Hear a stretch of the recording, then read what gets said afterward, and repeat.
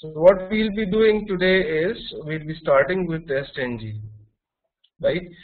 And I'll create a new Java project known as test TestNG tutorial. Now, why is this test TestNG required? That's the first thing. Why do we need test TestNG with Selenium? Okay, uh, basically, if you uh, look at the necessity of using test TestNG, then it goes like this. Selenium as a tool is responsible. These are my Selenium scripts. So these scripts are responsible to interact with the browser. These are individual scripts, individual you can say test cases, right? You might want to execute them in the batch one after another. You might want to link them or you might want to skip some of the test cases right? Along with that you would like to have uh, the data being read from some excel file okay? You would like to uh, generate some reports. Fine Along with that, when you execute your scripts, you want some logs to also get generated because if the script is getting executed for uh, say 5 hours or 6 hours or 10 hours, you need to know what happened when the script was getting executed, right? So apart from these, there are many other things which you need to do in order to successfully make a framework. Okay, so to coordinate between these activities. Look, Selenium is only out here. Okay, the work of Selenium is only out here in this section. Selenium is not responsible for Excel files, logging, reporting, and all. It will only interact with the browser. So what we do is we bring in a testing framework out here. Okay, this framework is either you can say JUnit framework. Some people use JUnit some people use test ng right?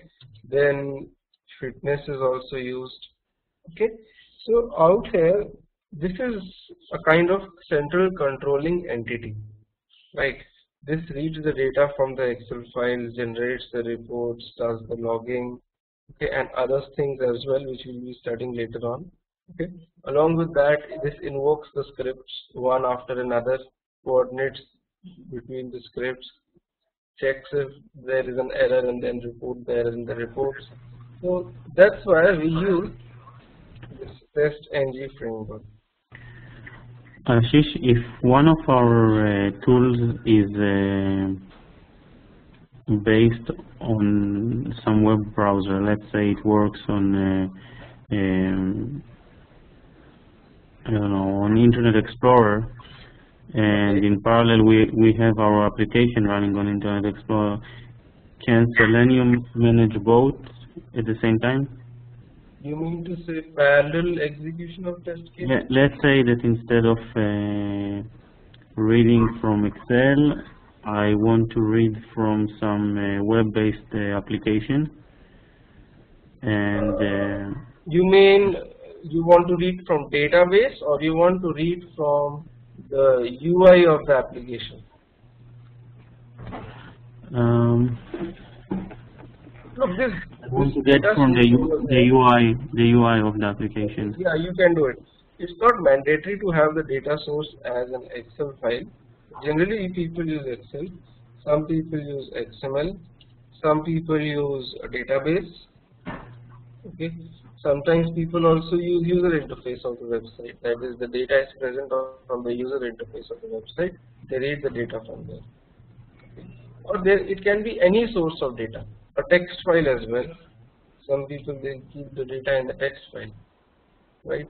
So you can read the data from any source. Only thing is you should be having the means to read that you should have the Java code which is going to read and supply the data to test ng, JUnit or FitNesse or whatever it is. Okay? Right? So mm -hmm. now the first thing is you need to install test ng inside Eclipse as an add-on you need to install testng to install testng you can go to help install new software okay. And just move to google.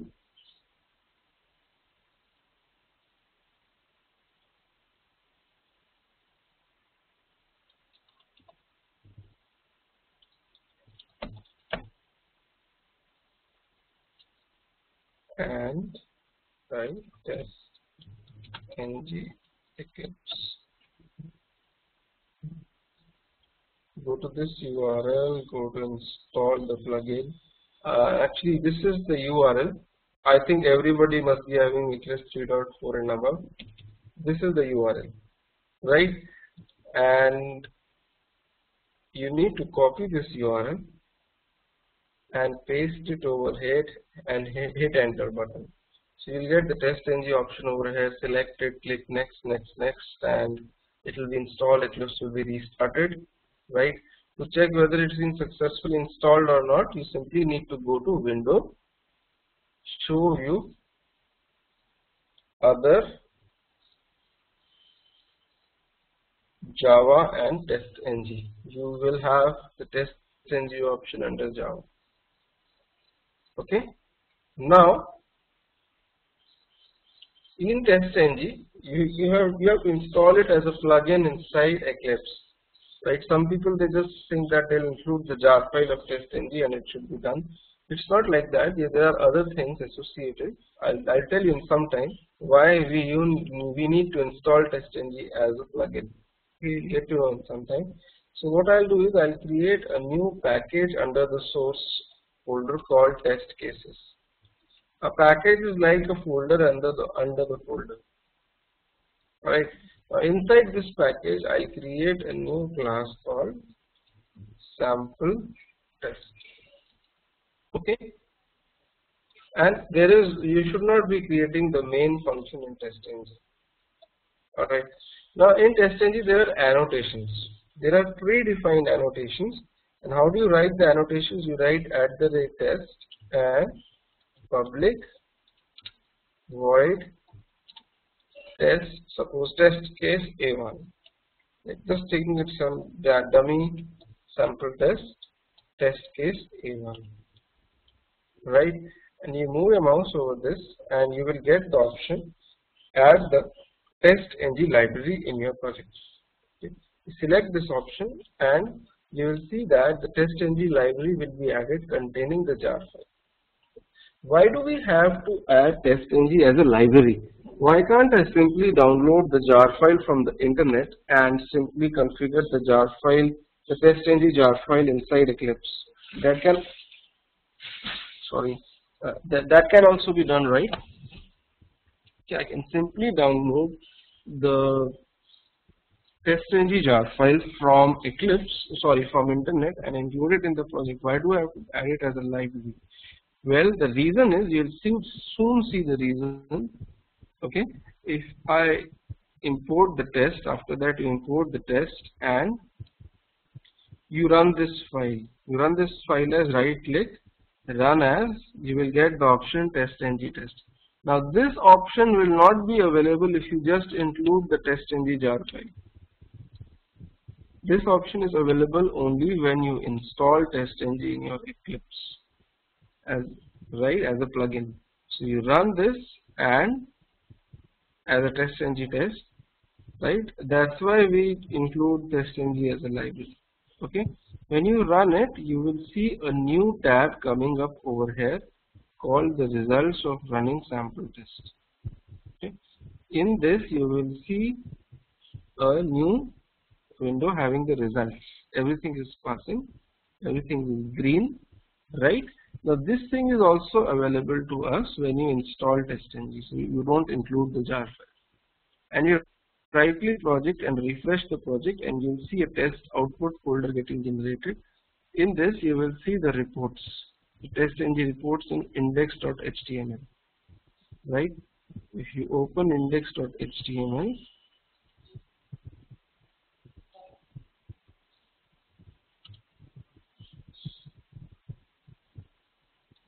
these are the testng reports test case A1 has passed. Right. So I did not do anything. I just installed Test TestNG, created a test annotation function which was blank, nothing inside it, and simply gave it a dry run. So I am getting the reports and all everything generated. Now in this we, we actually write the WebDriver code. Okay. Now suppose instead of A1 test I have my login test. Okay. And inside it I write system.out.println logging into application. Now in a class you can have more than one test functions. I can write another test function called public void register okay. Or test case register.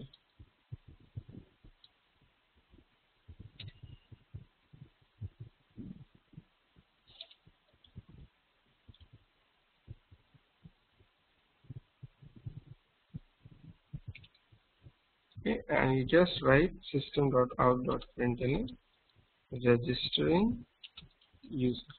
And suppose you can have another test case called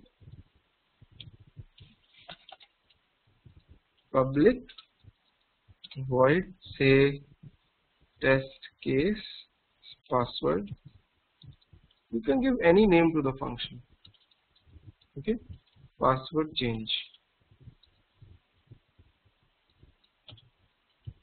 System.out.println changing password. Now what I want to do is I want to execute the register test first then test case login and then password change test okay? So I keep them in this order thinking that if, if I give the test cases in this order they will be executed from top to bottom. Right? Now if I run this sample test as a test ng test if you look at the output the output it says total tests run 3 failure 0 skip 0 which is absolutely correct. But you see the order. First login test got executed then password and then register. But what I wanted was that the register test should be executed first then login test and then password test. the order in which these test cases are executed okay it's not the order in which they are placed in the file the order is different. Okay? And it's actually determined by test ng right? It's basically alphabetical sometimes but sometimes not alphabetical. But if you want to make sure that the test cases they execute one after another right and you want to give a sequence to them you can use you can write like this depends on methods equal to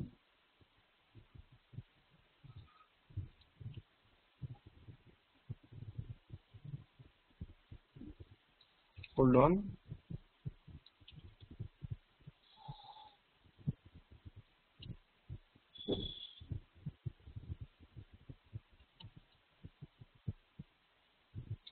You can use this command depend the test depends on methods test case register.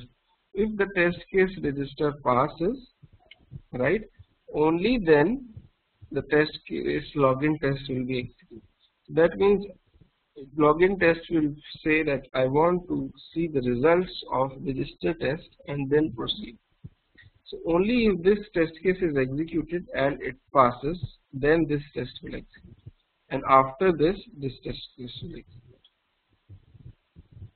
okay? So there are three test methods which will execute after one another and using depends on methods attribute I can actually uh, change the flow. I can change the order in which the test cases they should be executed. Now if I run this test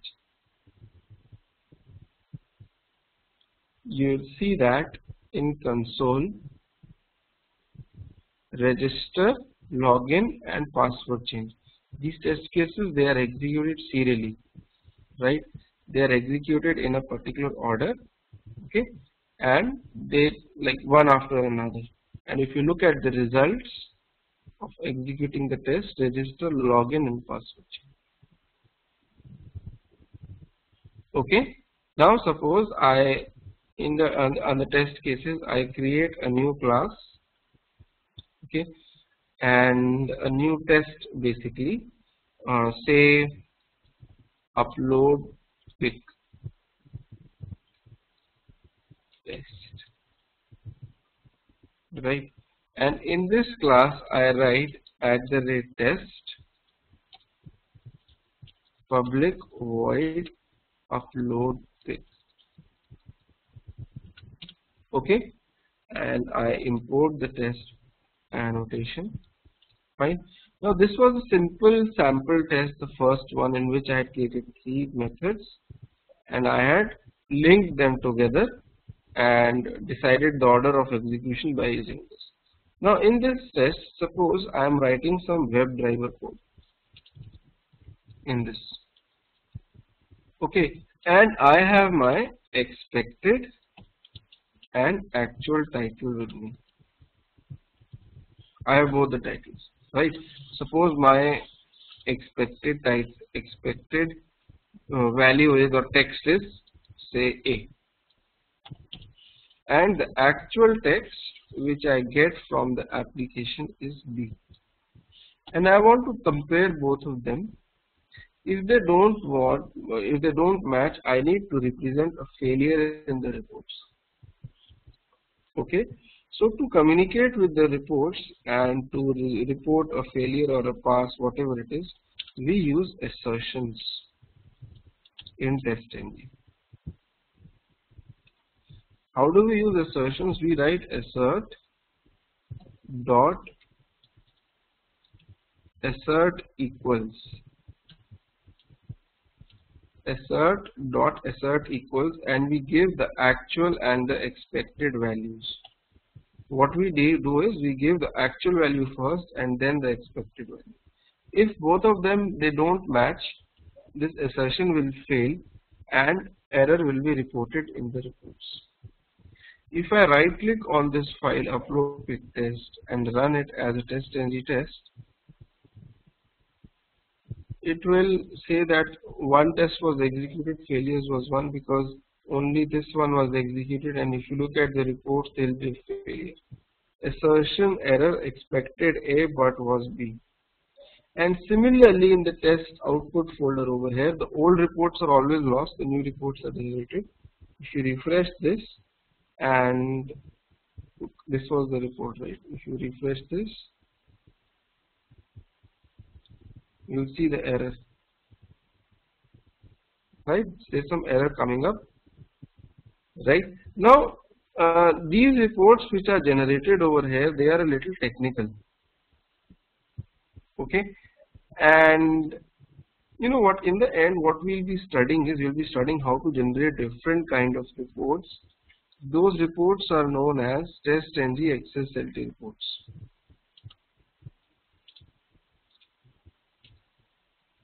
If you look at the test ng XSLT reports then the XSLT reports look something like this. Okay. These are the test ng XSLT reports they have a pie chart in them representing failed methods pass uh, test cases skip test cases and all everything. Okay. So we will be doing these reports but for understanding and making the test ng XSLT reports you need to understand uh, concept of ANT which I will be taking up later on. But let me concentrate on assertions now. So if they both do not match, okay, an assertion error is thrown. If both of them match, then it's fine. Okay. Now there is another kind of assertion. We write it like this: assert dot assert true. Okay. We give a condition over here for example 3 greater than 2 a condition which should evaluate to a boolean type true or false and give a message some error message whatever error message you have to give. Now assert, assert true wants that this condition should evaluate to true in order for assertion to pass but this will fail if the condition is false right now it will pass. Because 3 is greater than 2 the result will be true. If you run this you will see that total test runs are 1 failures were 0 both the assertions are passing. A is also equal to a and 3 is also greater than 2 but if I write over here 3 greater than 12 now this will evaluate to false right so some error message will be printed so if you run this you will see that one uh, runs and one failure when do we use this kind of assertion and this kind of assertion if you have to compare some two values in the application, then you can use assert dot assert equals. But if you have a condition, for example, a condition like is an element present on the page. If it is not present, then you have to throw an error. If it is present, then you have you have to mark it as a pass. So in case of those conditional things, you can do it like this. Okay, but if you have some uh, values which have to be compared using WebDriver or Selenium RC, then you can use this kind of assertion. Okay, now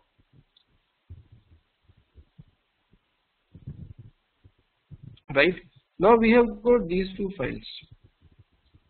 Individually, I can execute one file by right clicking on it and selecting run as test and test. But what if I have to execute both of them? Right, I have to batch run the files. First, I need to execute sample test, and after that, I need to execute upload quick test. Okay, now to do this, what we do in testng is that we use a file known as testng.xml. Hold on, I'll get that file.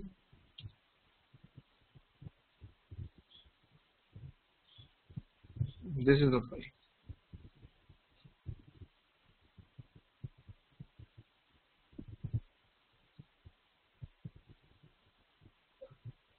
I'll paste it directly under the project. This testng.xml has to be placed directly under the project, not inside the source folder. Has it, it, you should be pasting this inside the project.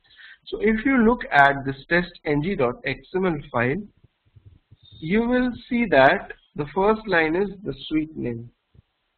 I given my suite name as my sample suite. You can give any name over here.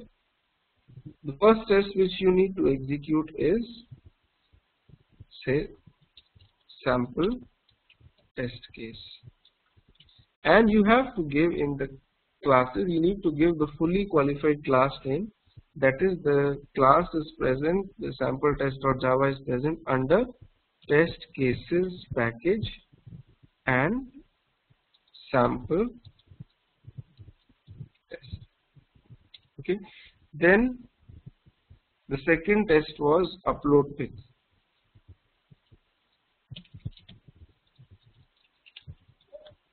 can give the name like this. And the second test which you need to uh, execute is under the test cases package. The test name is upload quick test. Okay? So make sure the spellings are correct. You have to give the file names the fully qualified file names over here along with package names now if you want to run this as a batch you can right click on testng.xml select the option run as testng suite. So when you run this as a testng suite you will see that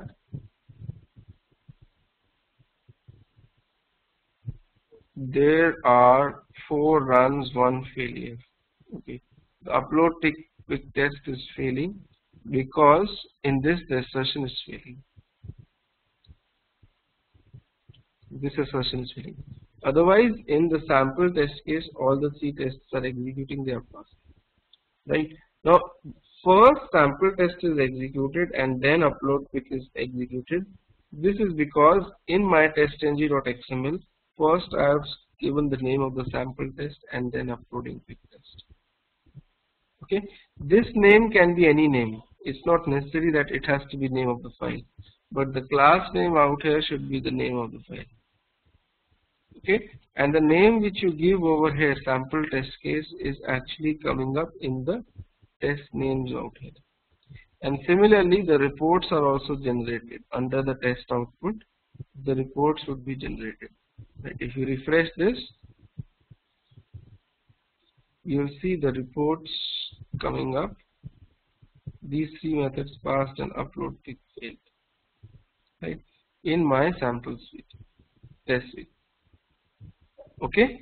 So this is like these are the very basics of testng okay? You have to uh, configure testng.xml mention all the java files which have to be executed serially and inside the java files you have the test annotation functions which will uh, actually uh, execute in, in, which you can execute the test cases. Fine. Now if I have to skip a test in testng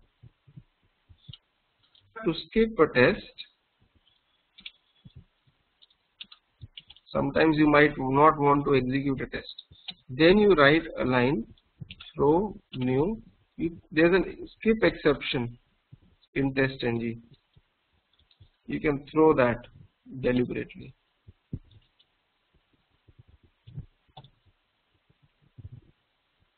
Okay. If you throw a new skip exception say skipping test.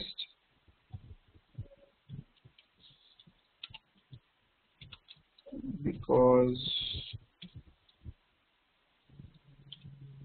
you can write any any reason over here. Okay. Why you are skipping the test. Okay. I'm getting an error on this line saying that unreachable code. Obviously if the exception is I'm deliberately throwing an exception over here right with the clause throw new I can deliberately throw an exception obviously this line will not be executed so I will just comment out the following lines after this. Temporarily I am commenting these. Right. So if I deliberately throw a skip exception, right, and if I run this as a testng test and uh, using testng.xml, if I run this, then you will see that the color is yellow. This is skipping the test. Okay. So just by writing throw new skip exception, you can skip a test case. okay now if you have a sample test okay this is sample test of java in my say register test I throw the exception. In my register test I throw the exception skip exception and I end this as a test ng test. Testing you see you will see that in the reports the register test is skipped but along with that login test and password change test have also been skipped. This is because both the tests are dependent on register test only if register test is executed successfully right? Only in that case both the tests will be executed. Because this is getting skipped the other two test cases they are not executed and they are skipped. So that's what we see in the reports. Okay? So uh, like uh,